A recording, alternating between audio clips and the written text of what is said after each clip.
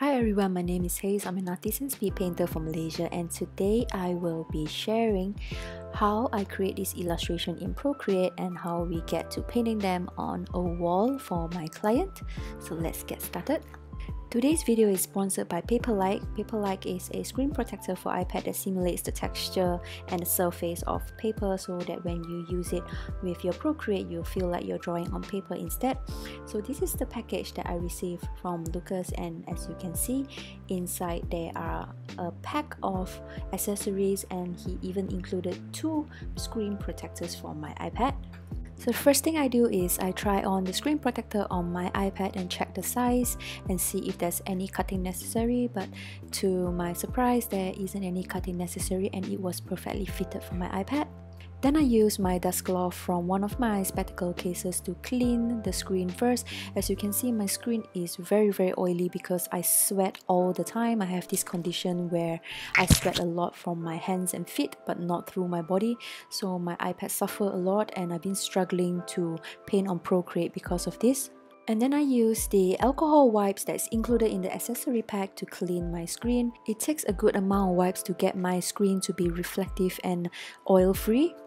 Once that is done, I use one of the tapes that was provided in the accessory pack to stick the remaining dust out of my screen. Then I reposition the screen protector and I use the other stickers to stick it firmly down to position them at the lower bottom of the screen first. And then I slowly let the screen protector stick itself to my iPad screen and try to get any bubbles that is surfacing out of the way. After that, I removed the top layer of protection plastic and there you have it. I have successfully installed the screen protector on my iPad. I'm so happy with this screen protector because there's no longer any non-responsive spots due to my sweaty palms as some parts of my screens were wet. So I would highly recommend this product to anyone who's having the same problems as I do or you if you're just looking for a paper-like surface for your Procreate experience. Alright, back to our video. So the first thing I'm doing right now is on my Procreate, I'm sketching some abstract swirls on the background because this um, mural is going to be very very odd size. It's a very very wide painting. It's about 35 feet long and 6 feet high. So the first thing that I'm doing, I'm just laying down some abstract swirls and directions that I want the swirls to be heading in in the background. So I like to do this so that I can establish the flow of the artwork first. And of course on my left side, I have some inspiration that gets me going in case I'm stuck with my sketch. One thing to note that if you are creating a visual for mural, it is not necessary to be very very detailed, especially when it comes to lines, they don't really have to be clean because I believe that the more time we spend on the wall is more valuable than the time spent digitally on the Procreate or on your Mac or on Photoshop because um, the results doesn't really translate as much when you have a perfect artwork digitally and then when it goes to the wall wall you do not have the skill to paint it onto the wall. So i believe that most of our efforts should be spent on the wall. So which is why i am being very sketchy at this moment. Also there has got to be a balance between complex details and really really simple areas where you can just paint really quickly on the wall this is because the details which show how complex and intricate the artwork is on the wall, whereas the basic areas and simple areas are just areas that you can work through really really quickly without compromising the intricacy of the artwork on the wall. So right now I'm hoping that this intricate background would draw focus onto the beauty of the entire artwork in general it's also good to mind the duration in which you are creating this artwork digitally. So if you spend one hour doing this digitally, you would roughly spend about 4 hours on the wall.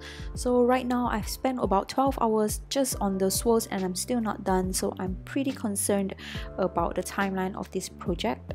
This artwork will be painted on a brick wall that is unfinished and unsealed. So now I'm just dumping in a brown to show that the background will be brown because it's a brick wall and I'm just filling in the swirls to see the silhouette of the background. Now that the background is done, I have a rough idea of how the artwork will flow and this artwork is separated into the left, the middle and the right piece. So there are three segments. So this is a skewer bar that is serving Japanese skewers, Thai skewers and Chinese skewers. So I am representing all three cultures into the different segments here. I position the portraits and the elements onto the artwork and I fill in their silhouettes so that I can color them in later.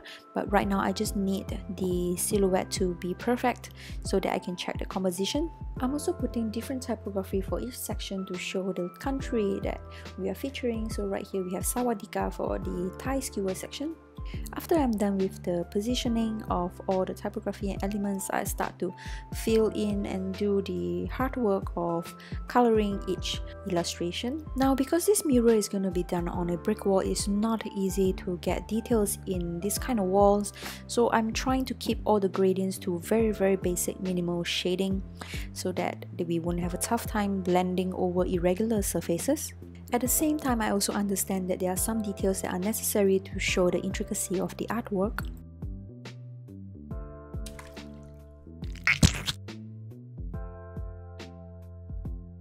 I also want each section to have a skewer to represent the culture that they are in. So right now here in Japan, we are having a yakitori skewer the bulk of the work was actually spent on the line art itself because it's actually very very important for this line art to appear bold in the mural painting because the surface is irregular and the surface has multi-color and multi-tone. So we are trying to reduce the amount of noise by giving everything a line art. The gradient itself is fairly fairly simple and very very minimal. Trying to give as little work as possible when it comes to blending so that we can spend most of our time on line art instead.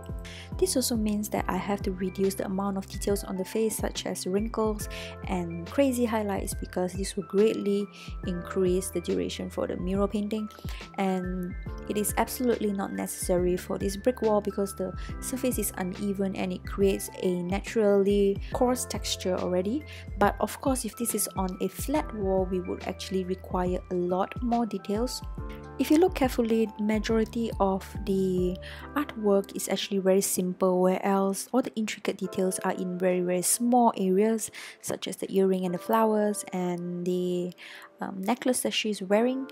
But the face is actually very very basic and easy to blend and the hair is basically just a flat color.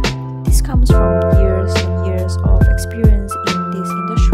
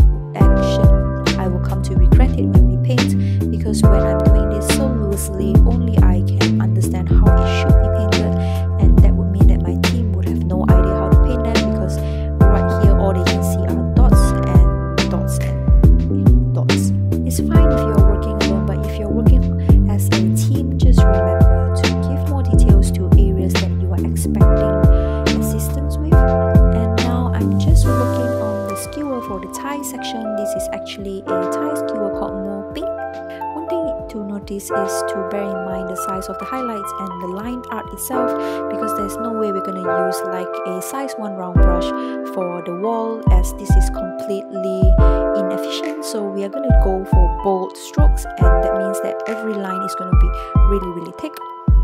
For the Chinese side it just says 酒吧 which means a bar the alcohol bar actually translated from Chinese and she is actually holding a Chinese skewer.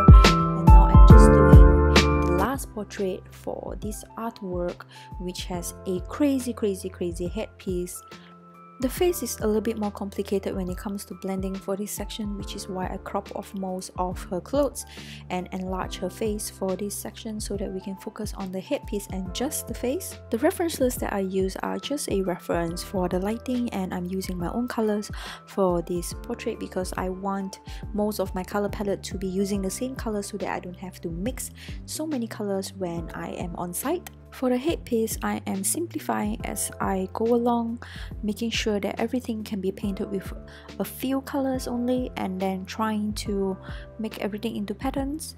The pattern that I'm talking about means that all the beads have the exact same highlight pattern which is actually just two dots and a smiley curve so it actually just looks like an inverted smiley face for all the beads involved so that it's easy for me to delegate this task to other artists. I've also decided to use gold paint for this piece on the wall and this would really really give a very good impact when it's painted on the wall. Basically when it comes to complex details like this, it's just a lot of repetitive work involved in creating all the elements. It's not necessarily difficult, it's just repetitive and tedious. If you think about painting this illustration with the amount of beads on them i think that anyone would also go crazy but this is what we have decided to do so as I'm painting this, I roughly know the timeline involved in creating such a mural on the wall. I'm guessing that we will need 4 to 7 days, but it's much probably much realistic to expect a 7 day workflow with about 3 people. With that in mind, I know that doing the swirls at this point is completely unrealistic because the swirls are really really complex and I've decided to instead do this effect on the brick wall that is easily achieved in one day's time. So the 12 hours that I spent doing the swirls are all gone into the air but artwork like that and sketches like that can always be recycled into your next artwork so it's not a huge loss. For this new effect, I'm carefully selecting a palette of colors that are quite limited so that there is not a lot of mixing to do when it comes to doing on the wall and I do not want to create more chaos. I wanted to create a cohesive flow um, from each section to the next. As I'm looking at this artwork, I feel really pleased because I know that the outcome will be spectacular. And I love the deep blues for the hair and some of the accent because this blue is very very pretty when it comes to the paint color because uh, it's actually a high quality wall paint that I purchased and I'm really excited to see the outcome on the wall so the next thing that I want to do is to mix all the paint for the colors and before I can do that I need to do some maintenance for all my paint. I so the paint that I use is called Jotun Majestic and basically what I do is I pour them into squeezy ready to squeeze bottles so that I can use them to mix my colors quicker Looking at all the colors that I have in the visual, I started to mix all the background colors because that is what we'll be doing first tomorrow. So one of the things that you can bear in mind that when it comes to mixing colors, it actually takes a very very long time because there's a lot of colors involved and it's better if you pre-mix all the colors first before you go on to your production of your mural because when you are mixing on site, it actually takes up a lot of time and you're actually wasting a lot of time by being on site, especially when the site is is not comfortable, where you can't sit down, or where there's a lot of sun, a lot of rain. So it's best if you do it in the comfort of your studio where you have things under your control. And these kind of plastic containers are really really good for mixing paint especially when it comes to mural but bear in mind that you do not need that much paint because you'll be mixing a lot of colors so try to have all these plastic containers in hand for this complex illustration, I usually use about 2 to 3 hours to mix all the colors, but bear in mind that they dry up easily so they need to stay hydrated or sealed properly with a cover after mixing the colors for the background, I start to prepare some 8 carton plastic containers for my other colors. So these colors are needed in small quantities instead of the containers just now. So what I'm doing right now is I'm just sticking duct tape over some of the slots of the holes so that the paint will not drip over when they are being stored all the hard work of mixing will be gone if you transport these 8 carton color palettes to your site uh, when you're driving in your car and then when you get there every color are already mixed together because they flow from one side to the other so because of this, I decided not to mix these colors today and I will only mix them um, the day before I need them so that they do not dry up.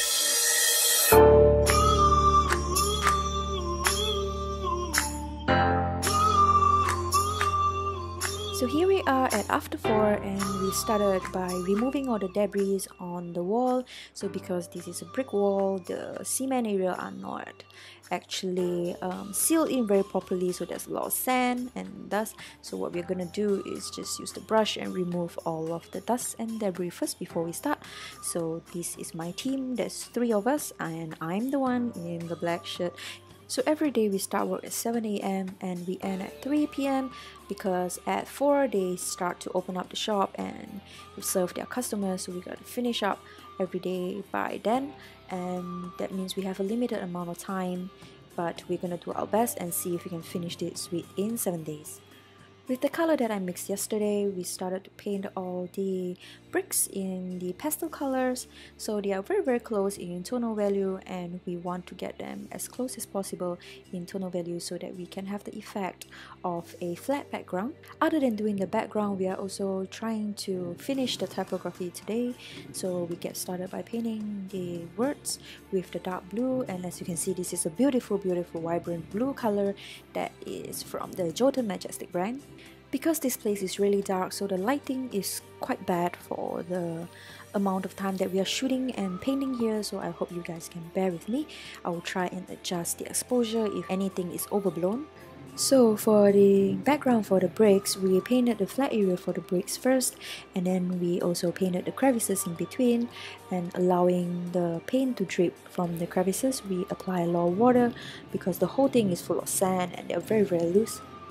I decided to incorporate this technique to introduce some looseness and creativity to the painting process for the background area and also um, by using all the colors with similar tonal values we can actually create a flatter background that can make the illustration pop more instead of just a very very noisy bricks background. Being able to paint loosely for the bricks is a very liberating process because we can freely just apply our creativity as we go along.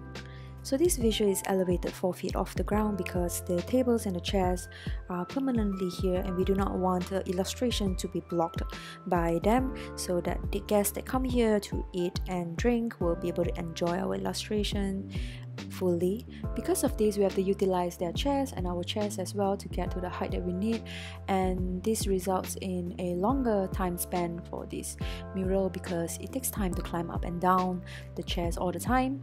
So to help us with the painting of the mural, we actually stuck the mock-up that we printed before on the wall so that we can refer to them anytime. And now I realize that the color I mixed for the background for the fish area are a little bit too much in contrast and I might need to fix this later on. The effect that I'm looking for actually something like this on the left side where the colors are like almost melding into each other so you can't really tell the difference from far. The rough edges of the background contrast highly with the sharp edges for the typography and this really really draw attention to the dark blue of the typography. And this is the end of day one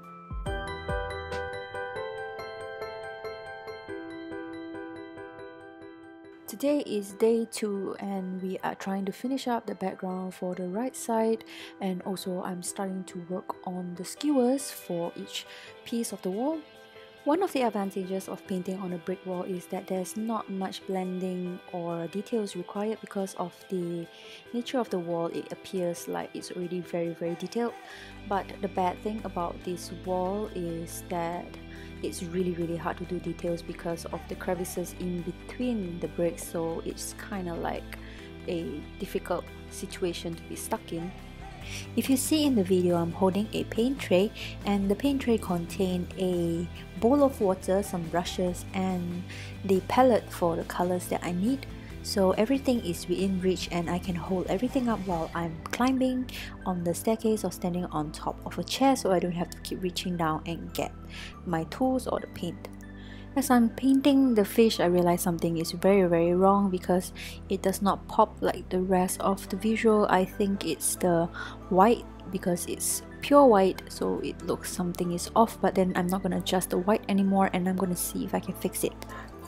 So to fix it, I decided to line the whole fish in gold and also to do details in gold as well that is not included in the original visual and hopefully this will fix everything. The background also has to be edited down because there's too many colors so it makes the visual very busy right now behind the fish. Now that the background is done, we can now project the portrait and position them to avoid the beams and the speaker. Then we use the marker and some paint to sketch the entire thing.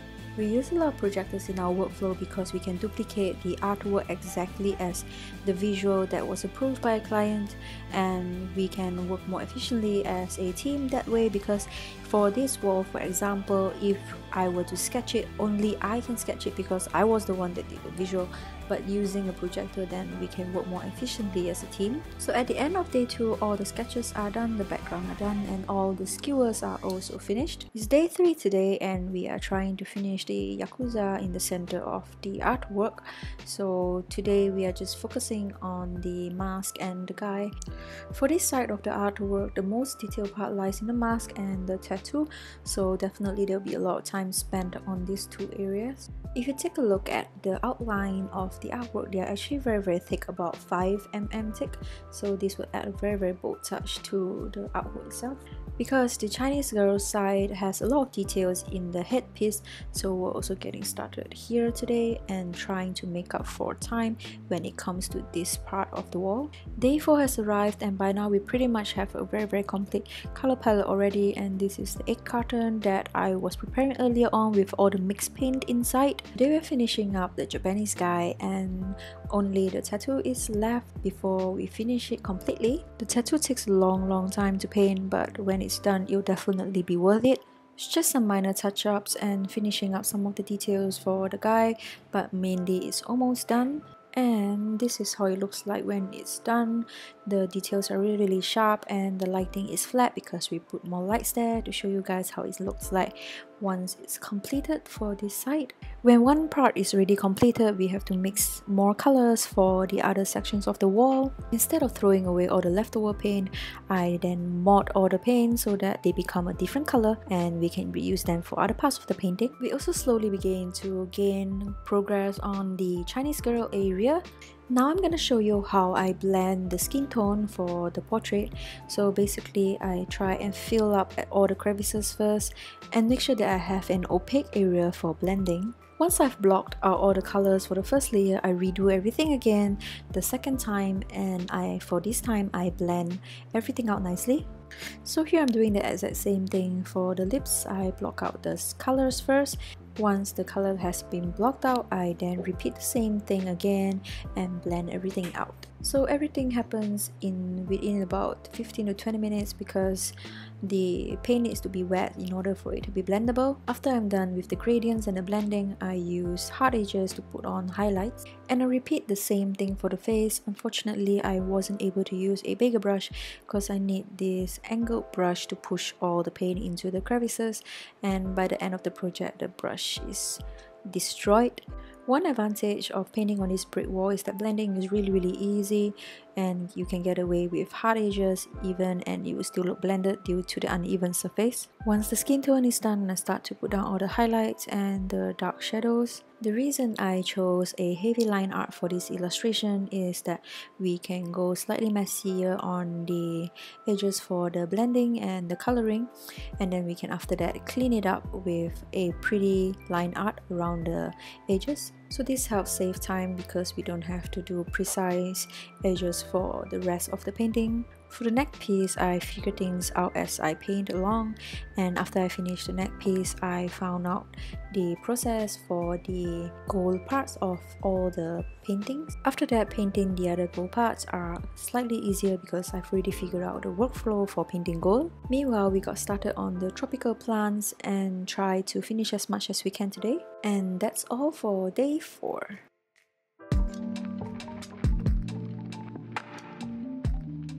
Our brushes are mostly flats because they are more suitable for mural painting and also it's finally day 5 and we have two more portraits to complete. Today I'll be focusing mainly on all the gold effects for all the portraits, where else they will assist me on the other elements of the painting like the flowers and also some of the head pieces for the other side. If you look closely to what I'm doing right now, I'm actually using a big angle brush to block out the shapes in one single color first and this is actually a dark brown. Because the sketch was not accurate, so I had to do this first to refix all the sketch and that's why I'm redoing the entire blockout of all the color for the entire piece first. Next, I go to a lighter color and put down all the mid-tones for the entire piece and I follow the rules of lighting from the left side for the highlights. Next I use a dark brown which is similar to black and then I start to do the darker shadows for each element in the headpiece and this will usually create some sort of an outline but not a complete outline as there will be a blue outline as usual for the headpiece as well. So this is also the first step in cleaning up the sketch by using this color and I will fix the sketch using this color as much as I can first before I proceed to dark blue. Now as you can see I'm gonna use the dark blue and do the outline completely and also fill in all the hair that has been missed previously to complete the border for the headpiece so when I'm done it finally looks a little bit more completed. And of course the last step to do for the headpiece is to throw in the final highlights for the gold and this would be the most exciting part because it will really give the headpiece a pop once I do it. So here I'm doing the final highlights for the headpiece and as I expected it popped and it looks really really good. So I finally figured out how to paint this gold effect for the material and it definitely looked better than the neck piece that I painted yesterday. This is the reason why artists usually do multiple studies before they attempt a big piece so that they can solve all the problems and figure out the workflow for every element in the studies first before doing the big actual one. So if I had did a study before um, in my studio then my neck piece would look a lot better than it does now. To show you the difference you can just take a look at the head piece here and in comparison with the neck piece right here so as I was doing the headpiece, Kelvin was painting the flowers and the leaves and this has a lot of blending to be done. There's yellow, there's orange, there's red, there's pink, there's white, grey and green so it's a very very complex kind of blending and it takes a long time to get the blending to be correct. This is Kelvin's second time painting flowers and plants and I'm pretty sure he's sick of it by now. Meanwhile, Logan has been doing pearls and circles since the day before and I'm also pretty sure he's very much sick by doing circles and pearls by now. There's hundreds and hundreds of pearls in the headpiece for this girl here so good luck to all of us.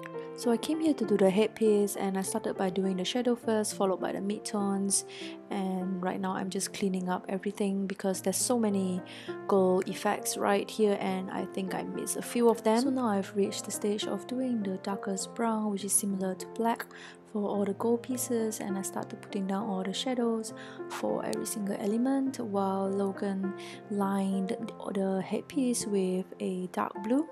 Here's how what it looks like after I've painted the pearls for the headband. There is an insane amount of pearls that we need to paint and it's gonna be crazy. And here I'm just lining the gold pieces with dark blue and I don't even bother to fill it in yet because there's just so much work to be done. Do you know what's worse than painting hundreds and hundreds of pearls? Well, what's worse is lining hundreds and hundreds of pearls. Well, after this, I painted on the highlights and we filled in the blanks. It took us the whole day to finish, but when it's done, it really, really looked very, very good. So this is our handy trolley that we can compress and keep flat when we are not using and when we are using it we are just dumping in all our paint into this handy box where we can just drag it wherever we need. Today is our last day and we only have the flowers for the tiger side to be painted on and also we have a projection for a logo and that's about it. So here we're discussing how we're going to project the logo on the wall and we have to raise the projector higher than usual to get it to be the height that we want.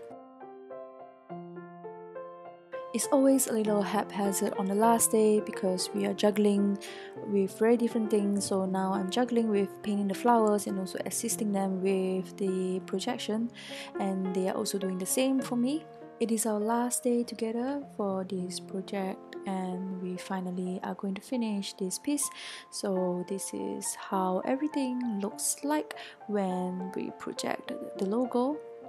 Now that they have finally positioned the projection, they can get started with the logo while I quickly finish the flowers all of us are in a very relaxed mode today and we are just having fun so after a while, I decided that I need more help with the flowers, and I got Logan to help me to block in all the greens first.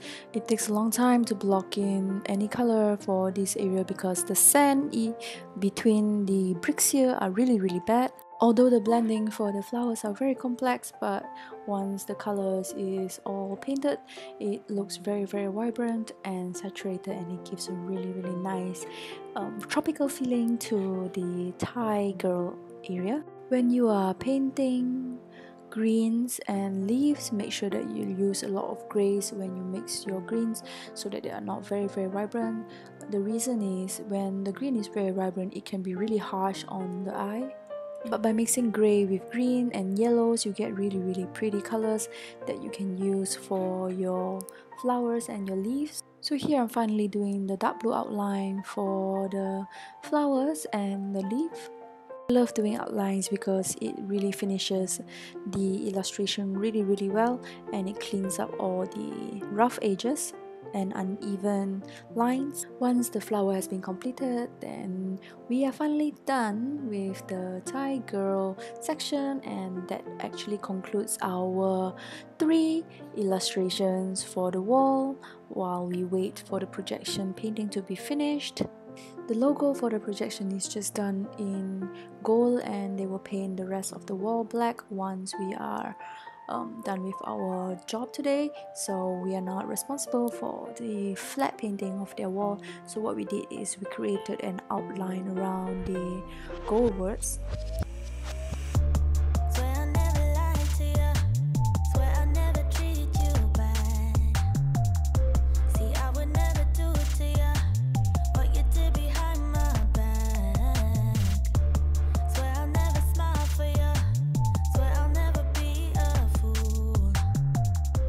there you have it everything from beginning to end starting from the digital illustration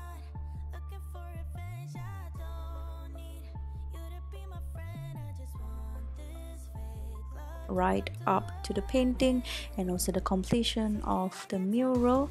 I hope you guys enjoy this video. Remember that this uh, video is sponsored by Paperlike a screen protector for ipad that can create a paper texture when you are using your procreate or your ipad just in general.